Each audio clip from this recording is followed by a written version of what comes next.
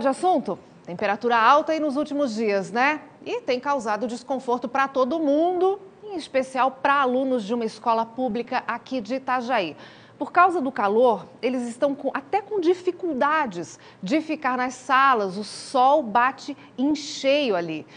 Esse assunto veio à tona depois que uma mãe fez uma postagem na internet. Aí, a nossa equipe, sempre bastante antenada, foi até a Escola Estadual Básica Raul Bayer Laus, que fica no bairro Espinheiro, para saber o que, que vai ser feito para resolver essa situação. Imagine um calor de mais de 30 graus, como tem feito nesses últimos dias, e você estar dentro de uma sala de aula que bate sol durante toda a tarde aqui na lateral, como essa, e que tem um aparelho de ar-condicionado, mas que não pode ser utilizado. Essa é a situação que alunos dessa escola aqui da cidade de Itajaí estão enfrentando. O problema veio à tona por meio de uma postagem na internet, mas não é novidade para a direção nem para a Coordenadoria Regional de Educação. Desde 2017, quando a Escola Estadual Básica Raul Bayer Laus, no Espinheiros, foi terminada, e 2018, quando ela começou a funcionar, a diretora fez todos os encaminhamentos necessários para que os aparelhos de ar-condicionado funcionassem. Mas a burocracia atrasou todo o processo. Houve um desencontro da instalação do aparelho com a fiação elétrica, né?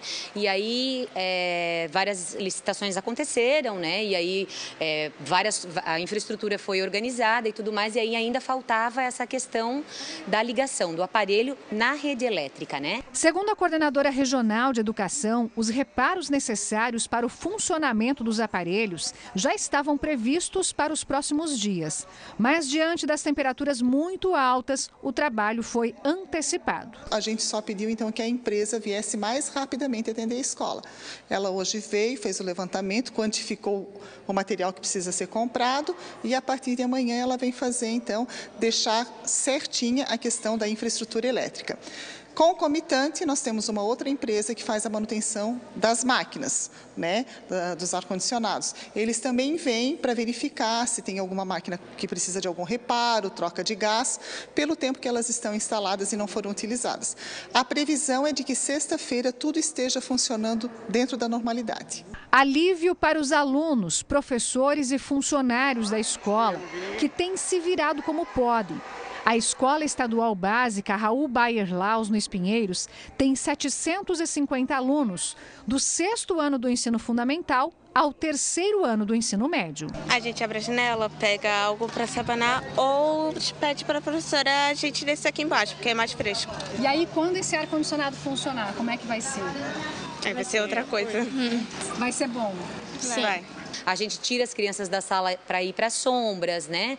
Procura manter os bebedouros sempre é, com manutenção para que a água seja geladinha, para a gente também conseguir é, contornar essa situação desse calor intenso que tem dado nesses últimos dias. Essa mãe de uma aluna que estuda em outra escola estadual no bairro Cordeiros, também em Itajaí, procurou a nossa equipe para alertar sobre o calor nessa escola também.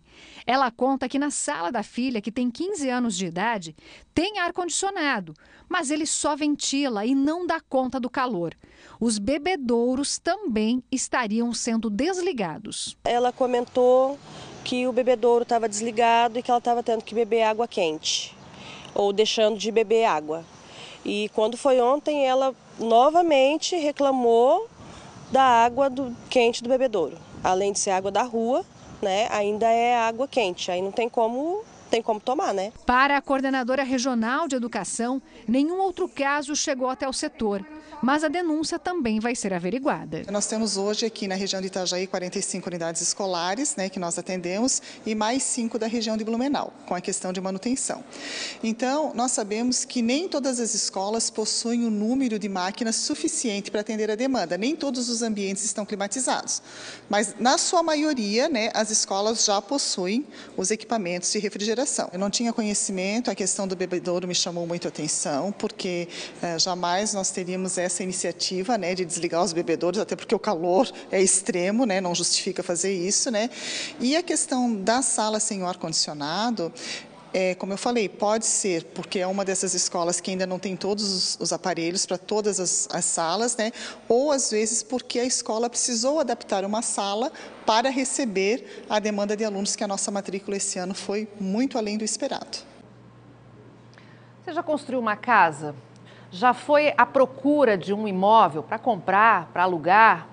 Normalmente a gente se preocupa com a posição do sol. Será que pega o sol da manhã? Será que pega o sol da tarde? O que, que fica mais confortável aí para a nossa família? Então, por que durante o projeto não se pensou nisso? Será que é porque é dinheiro público? Porque esse espaço é público? Outra coisa, instalações elétricas que não permitem a instalação do ar-condicionado como assim? A compra do ar-condicionado já, estava prevista, né? Tanto que ele foi instalado há dois anos, quando a escola foi entregue. Agora, o equipamento está se deteriorando, não sabe mais nem se tem gás, se funciona, né? Isso que nunca foi usado, nunca foi ligado. Quanto custa um aparelho de ar-condicionado? É caro. Parece brincadeira, né? Então, tomara que esses aparelhos comecem a funcionar antes, pelo menos antes, que o verão termine. E na outra escola, se não tem condições de ter o ar-condicionado, não tem condições de colocar uma outra ventilação, um ventilador de teto, algo que traga um pouquinho mais de conforto, porque nesses dias de tanto calor, com sensação térmica aí batendo os 40 graus, não está fácil mesmo, né? Não tem condições de você estudar, se concentrar com esse calor todo.